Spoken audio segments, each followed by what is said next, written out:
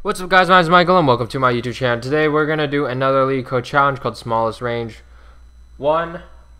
Given an array A of numbers, uh, we're going to choose any x with uh, between negative k and uh, k uh, inclusive and add x to whatever for each integer inside this array. That's what we're doing. Then after this process we have another array b we're going to return the smallest difference between the maximum value of b and the minimum value of b. Okay, so first of all, let's think about this first. Uh,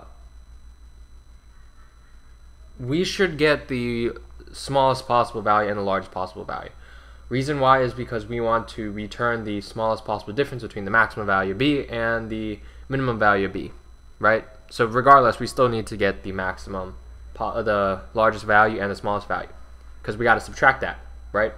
So what we're going to do first is we're going to create an integer called the smallest and have this equal to the first value and the largest is not going to equal the first value.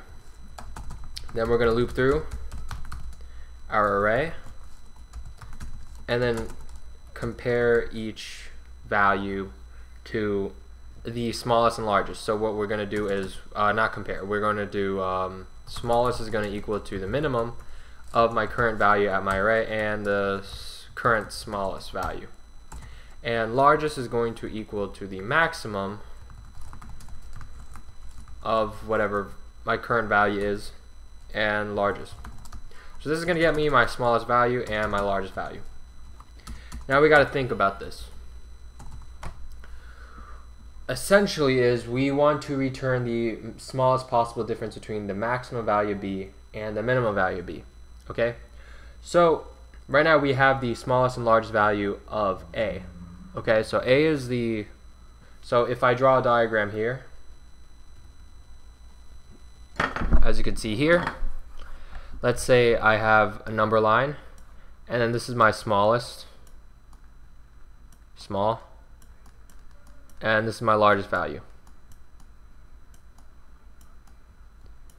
And basically what we want to do is we want to essentially min, uh, return the smallest possible difference between the maximum value of b and the minimum value of b. So the smallest, so we want the difference between here and here. Do you guys get it? Okay. So this is the difference between a right now. Currently, this is the difference between, if I just take the largest minus the smallest, this would be the difference in A. But, what we did here is that to get to B, we had to add, choose any integer x with between negative k and k and add it to each value of A. So, now, essentially is we want to return the smallest possible difference between the maximum value of b and the minimum value of b. So how do I do that? Well, the smallest difference is is actually if, they, if you because we added a an x value to a of i for each value and x is between negative k and k essentially is if you take smallest and you add it with this k value and you take largest and you subtract by this k value let's say I take largest minus k this value is going to be the smallest difference From here to here is going to be the smallest difference. You guys understand me? So if I take, this is going to be largest minus k, so I'll just do large minus k, and that's this value. And this value is going to be small plus k.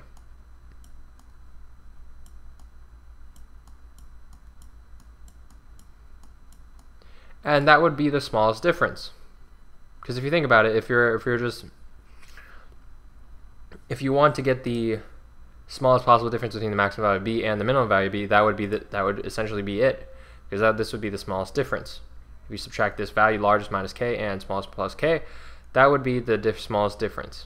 Because essentially, is what we did was we added whatever k value uh, x to which is between k and k to every value into the array, and the best possible thing is to add k here to the smallest and subtract k from the largest because that would because the x the x x's lower bound is negative k, x's upper bound is k. So if we were to add plus k, this would be the mm, uh, the maximum possible value you could add to here, and this would be the minimum between here. So then the distance would be as small as possible. So yeah, that's what we're going to do here.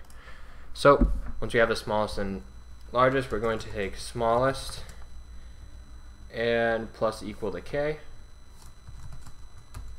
And largest is going to minus equal to k. Then after that, we are going to return the minimum of 0, because we have to return minimum. Uh, the reason why, because uh, absolute, absolute value issues, right? Largest minus smallest. If it's 0, then yeah, we want to have the absolute value to be this. Essentially, we need minimum, because otherwise you could have negative distances, and that's not good. Okay, so then this would be, if it's negative, we would just return 0. Okay, we submit it. Okay, I got a wrong answer. What was the issue? What is my issue is uh smallest minus equal k largest minus largest minus small. Oh wait, uh max I think actually. Let me see. No, I'm pretty sure it's min. Yeah, okay, it's max. Uh, the reason why it's max is because uh, if it's negative, we don't want the negative. We want to compare zero and the, uh, the, the difference between it. Because if it's negative, we, we want it to be positive, essentially. So that's why we do max, because we want the positive value.